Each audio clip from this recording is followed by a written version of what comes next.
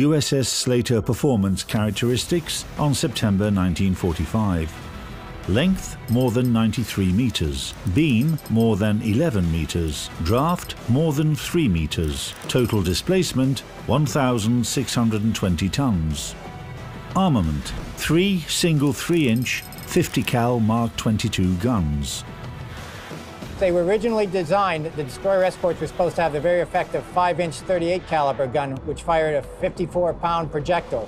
But because supply uh, outdistanced demand, they couldn't make these guns fast enough, so destroyer escorts ended up with kind of an obsolete 3-inch 50 caliber gun that only fired a 26-pound projectile anti-aircraft artillery, six 40mm Bofors guns in twin mounts, 18 20mm Oerlikon guns in twin mounts, anti-submarine armament and torpedoes, Hedgehog anti-submarine mortar, one triple 21-inch torpedo tubes as commissioned, eight depth charge projectors, two depth charge racks, power plant, Four GM Mod 16-278A diesel engines with electric drive.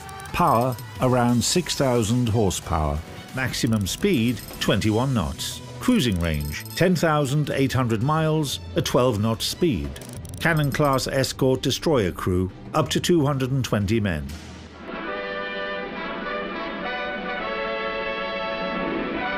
And here they go.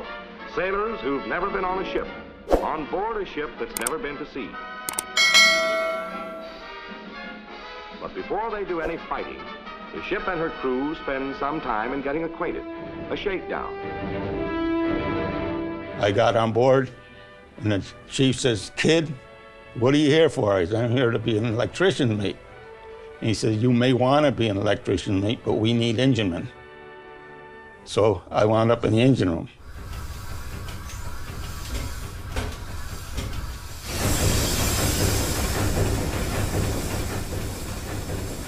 Closed room, it was always over 100 degrees temp temperature-wise, and you'd be rolling almost over on its side. Everybody was getting seasick, and it would be going this way as well as this way, and sometimes both. And you'd have to serve your duty on watches, eh, whether you were seasick or not. Such a small ship, but it was a good game. We had some good times together, and we had some, once in a while, we had a little battle a little fisticuffs, but uh, when you're out to sea for three, three and a half weeks, and you don't see anybody, you don't have good food, you get on each other's nerves. When we went on Liberty, we didn't care if it was a boatswain mate from top deck or engine man from bottom deck. We went, we partied.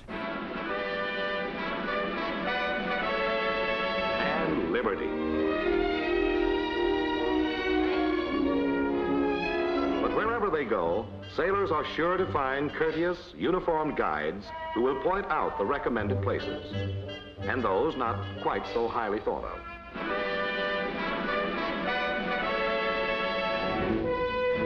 It doesn't take long to get the sailors' handsome luggage on board, but it does take time to stow an amazing amount of ammunition.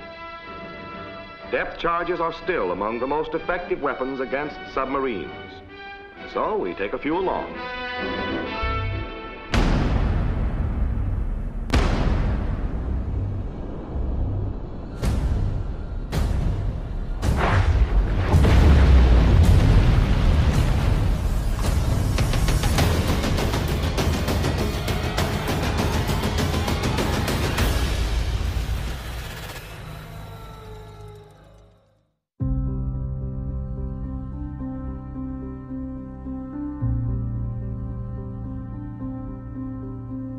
During the war, the small ships did a great, great deal. They, they freed up everything, all the big ones, so they could go.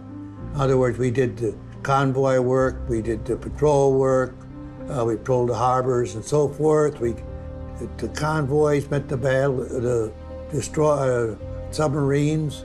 Uh, we also they used a lot of small ships in the invasions. So they not only they convoy in, but they were firepower to fight aircraft. They use them for aircraft. In case of necessity, escort destroyers could defend against any attacking surface ships or aviation. But, nonetheless, their primary task was to fight against enemy submarines.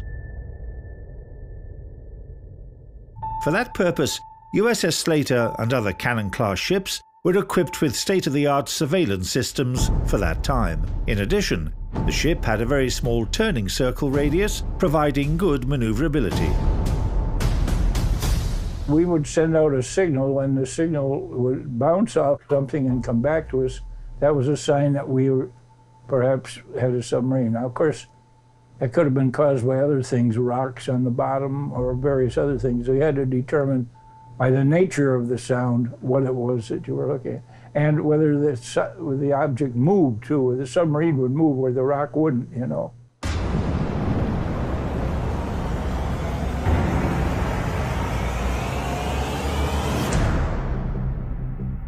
World War II sonar had a problem. It could only scan ahead of the ship. So when a destroyer escort got on top of a submarine, it lost contact so that the submarine is trying to get out from under you. So to solve this problem, the World War II destroyer escort wanted to put as many depth charges in the water as it could in a short period of time over a wide area. So to do that, we had the two depth charge racks in the fantail, and then we also had depth charge projectors, four on each side of the ship. And with a depth charge projector, you basically were throwing a depth charge over the side of the ship about 75 yards. And the way this worked was it had an impulse charge in it, and you put the impulse charge into the breech, and then that black powder explosion would detonate and blow this arbor plate over the side. The separation point was right here, and the de depth charge was chained to it, and that would go out about 75 yards. So you've got four of these going off either side, and you've got dropping four off the back end, so you're getting as wide an area as you can to try to sink that submarine. These were pressure sensitive. Basically, you set the, uh, the depth that you wanted the depth charge to explode at, and at that depth, water pressure would uh, overcome spring tension and detonate the depth charge. So you had to guess what the de depth of the submarine was.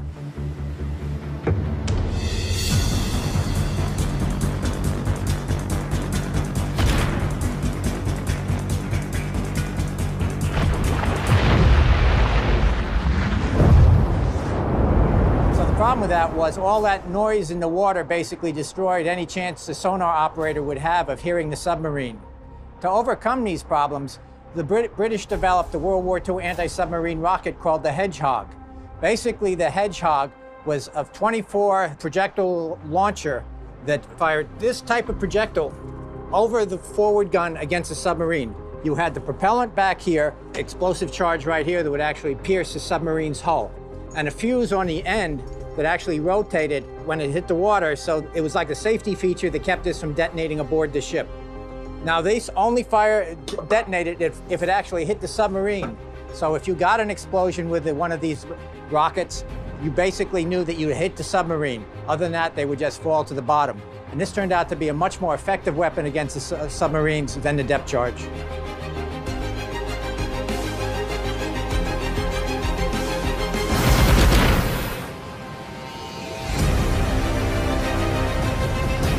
1943, the entire anti-submarine defense system began operating at full strength as a united mechanism.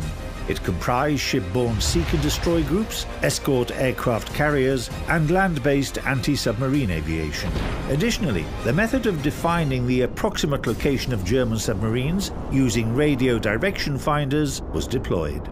And also we come out with what they call a HFDUF, which was nothing but a a radio detector, uh, signal detector, and what they set up stations along the coast, they would try to pick up the German when they talked on radio, and we would also would see with our ship, we would try to pick them up, and where the two of them crossed, we knew that's where the German sub was, and we could send air, we send airplanes out or ships that were close to that, and we got a lot of the German subs this way.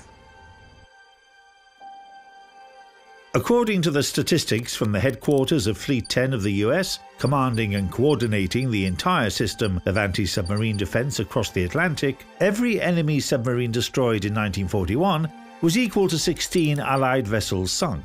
In 1943, that number was reduced to two vessels for every submarine destroyed, and in the spring of 1944, Germans paid with a submarine sunk for almost every destroyed Allied vessel.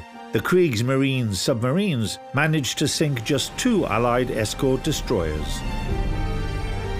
By the end of summer 1944, German submarines turned out to be completely incapable of cutting off the supply lines from the USA to a new front in Europe. Seek and destroy groups and small escort destroyers within those groups won the battle for the Atlantic with the aid of radar, high frequency direction finders, and multi barrel projectors, as well as the coordinated action and the dedication of their crews.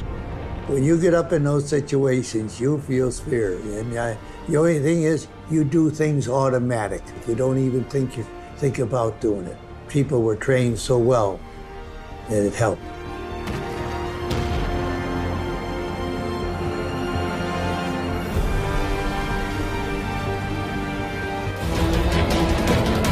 They were designed to be the best.